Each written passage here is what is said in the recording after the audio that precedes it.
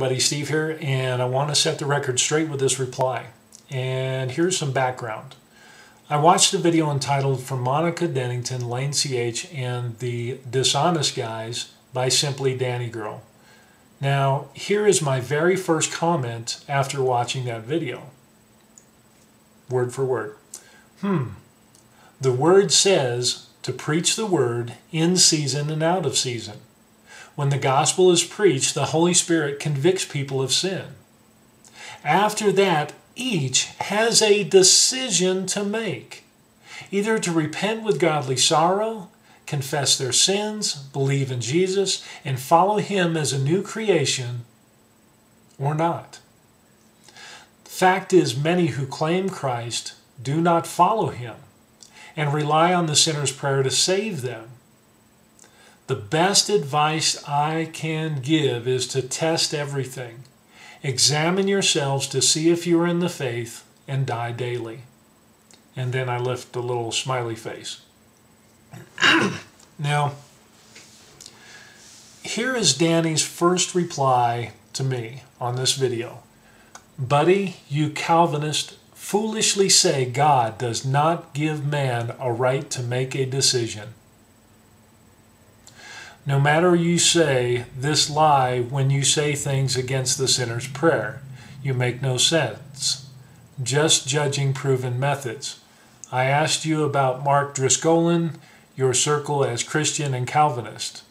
I see you have not answered my question. You also have become self righteous to the point of er- ungodly arrogance. Danny. First of all, let's just look at the first sentence that Danny left. You Calvinist. Um, Danny never sent me a message asking me what I believed and to back it up with scripture. Here he just wrongfully assumes that I'm a Calvinist. Uh, he calls me a fool.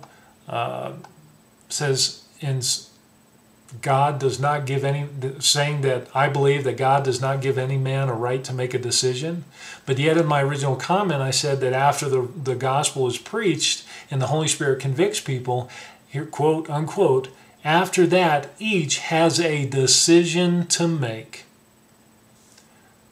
So, in the first sentence, we see Danny, uh, uh you're missing the boat on this. Uh, you continue on and you say you lie when you say things against the sinner's prayer. Uh, well, first of all, hmm, I'll address this a little later.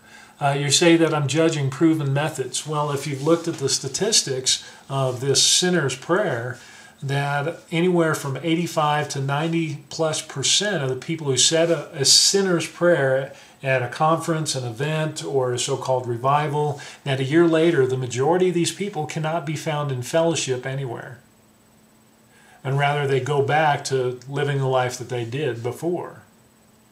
But they just kind of think that they're saved because they said a prayer and now they continue on sinning over and over and over again and we read in Revelation that if those who continue in sin, those who continue to lie and commit adultery and murder and all those other things will find themselves uh, outside the gates of heaven.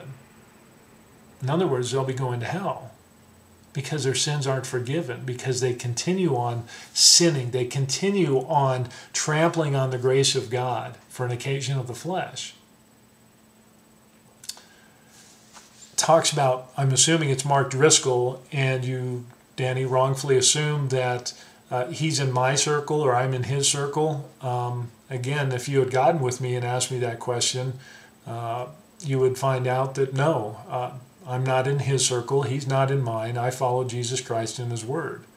And again, you wrongly uh, label me as a Calvinist. I've plainly shown you where God does give us mankind a right to make a decision.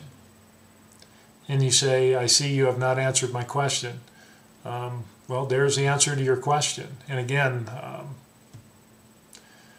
anyway, you say that I have become self righteous to the point of ungodly arrogance. Um, I'm not sure how just relating what the Bible says to preach the word in season and out of season, that the Holy Spirit convicts us, that we have a decision after that to either repent and confess and follow Jesus or we don't. Jesus said, repent or perish. So I don't understand how that's being ungodly or how that is being arrogant. It is those things that were preached to me, the message, showing that I had offended God. And the Holy Spirit convicted me to get on my knees and to ask for forgiveness, even though I didn't deserve it.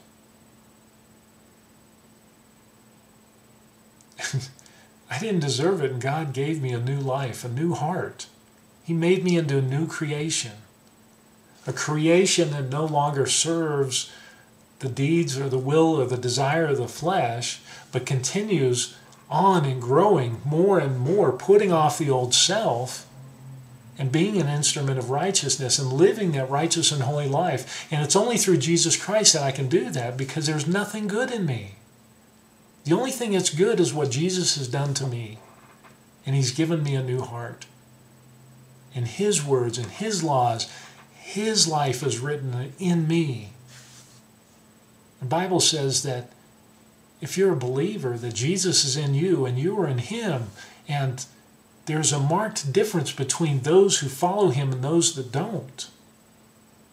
We don't revel in the same sins as the world. Paul again over and over says, hey, those that continue in adultery and lying and gossiping and backbiting, these things should not be so. He goes to the point of saying, with an immoral man, don't even eat with such a person. In other words, there is a changed, there's a new person that's supposed to be there. But if you keep on lying and committing adultery and stealing and fornicating and all that stuff, you need to go back to God's Word and examine yourselves. I had to examine myself. I still need to examine myself daily. And I still need to fight the good fight and run the race and grow in glory to glory.